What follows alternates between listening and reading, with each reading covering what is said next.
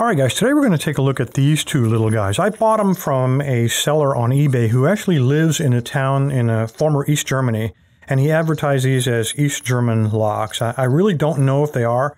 The keys are labeled BAB, and I've seen BAB locks before that are kind of shaped the same, but nowhere else on here is any marking other than right here on the top. So if any of you guys can confirm that that is, or, or maybe disprove that that is the BAB logo, I really have no clue. Um, these are very, very old. These have probably been around since the, I would say the 50s or the 60s. Again, I'm just guessing. They've got a metal crinkle paint finish, and underneath it looks like they have another layer of paint. So maybe they've been repainted at some point in their lives. Um, they are sequentially numbered, 71 and 72, but those are hand stamps. So these were probably used in some factory or something, maybe lockers. I really don't have a clue. These are interesting because they're only four pinners, and they, both of them come with a whole bunch of keys. Um, they're interesting because they're key retaining, and it's a very simple mechanism when you can get it to work. It's very rough. The machining on these and the workmanship or craftsmanship is pretty pretty rough. Um, you know, they, they pounded a pin in to hold the shackle to keep it from popping out, and I thought that might have been an anomaly until I grabbed his brother and took a look at that one, and they didn't spend a lot of time grinding that flat before they painted it. Um, the other thing is all the pins are held in by this little, looks like a little tin plate that was kind of hammered in there and pinched in place. So a lot of things to explore with these. Uh, they are key retaining, and here's how. When we get, if the key will work, there we go. It will turn, and now the key won't come out. You can't return it. Well, when we take a look here, on the top there's no cutout on this side, but there is a cutout on that side. So what I would suspect is that there's a mechanical lever inside of this main cylinder that rotates, and when it's lined up with that groove, there's enough clearance for the key to turn and remove, and when it's open, you can't turn it because of the shaft. So pretty cool, very simple mechanism. Let me see if I can get it to cooperate and lock for me again. They are, as I said, they are very, very rough.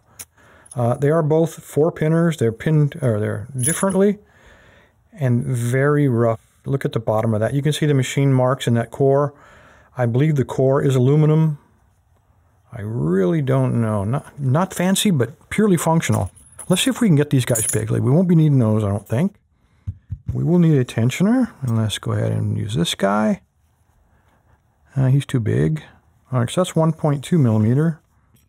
Let me use the white one, which is 1 millimeter and he's too small. So whatever it is, if 1.1 millimeters is the size you want, but I just don't happen to have one.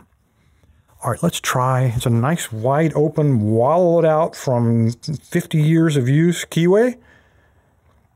50 years of use on an aluminum core. I'm going to use this Attila, and let's see if we can get him. I'm going to try, let's try to bully him first. I'm going to apply some pretty good tension on him. Come on. Binder, where are you? Here we go.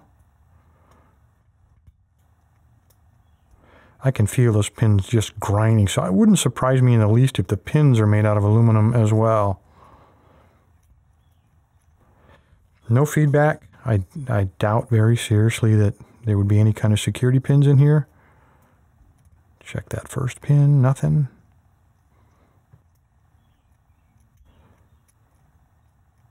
It's tough because of the rustic fit and finish, I think.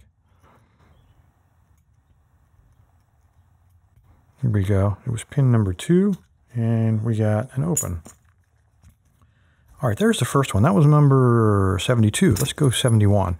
Here's what the pinning looks like on this guy. And this one's a little hard to get in. There we go. And there's an awful lot of play. If you take a look at that, look at that slop built right into that key.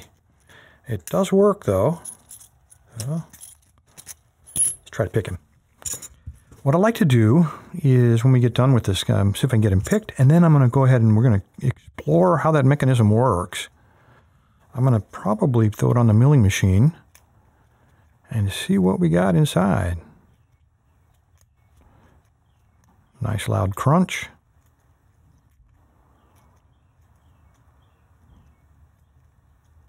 And there we go, pin number one. All right, so we know that these are key retaining, and there's no cutout on that side, so that lever turns in there. So let's figure out where the lever is before we start cutting. So let's go ahead and lock this guy back up. And then I'm going to take a pin and I'm going to mark the top of this, of the shackle. And then I'm going to find the right key, open them back up, and take a close look here. Notice that line is not a lot above, so that tells me it's barely below the body of this lock. The thickness of that top metal is probably about that much, so the lever literally is right there. And it's going to turn in the to, in order to lock it in the clockwise direction, so the lever is right here. So if I machine off a good chunk right in here, we should be able to see exactly how that locking mechanism works. Let me throw it on the milling machine, and uh, I got two tries, so let's see what happens.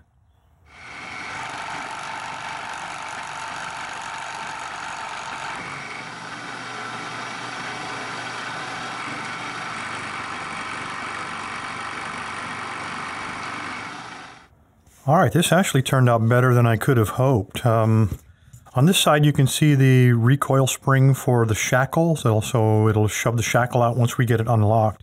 But we're really interested in the locking mechanism, and right there it is. In the cutout, let me push down with my finger. I think you can see it just a little bit better. And of course, the core, this is the Bible where all of the driver pins are. Of course, key pins are in there. And there's just a little pocket for that part of the shackle to fit inside of. Not a lot to it. So when I turn the shackle, notice how the, the actuator is off center so it will cam that to the left and out of the way. I'll rotate it a couple of times. So when I rotate it, you can see a couple of things here. You can see it rotating out of that groove and will allow the shackle to pop up. And also there's a 90 degree limiter and that would be this pin right here. So it keeps us from over rotating the core and it also keeps us from pulling the core straight out and then of course our four uh, key pins. So when I release this, I'm going to have to pull it just a little bit because it's a little bit pinched. Now you can see when I try to lock it, I can't lock it because there's no cutout in the shackle on this side. So pretty simple mechanism. Very cool. One more thing I would like to check out, and let me lock it back, and I'll show you. And that would be right here. Um, I'm going to try to I'm going to get a screwdriver or something sharp and see if I can just pop that off. That would be a really easy way to defeat this lock. So let me find. All right, guys, let's try it on the, the partner lock here. And the reason I say that is because I when I machine this, I machine that away from it. It wouldn't be a fair evaluation. So I think this one's probably good. I'm going to use a normal, just a regular Swiss Army knife. And I'm just going to try to squeeze it into what I think is a wider part of the crack. So probably would be right there. I'm going to try to keep my fingers out of the way here. Really don't want to lose one of those guys, at least not today.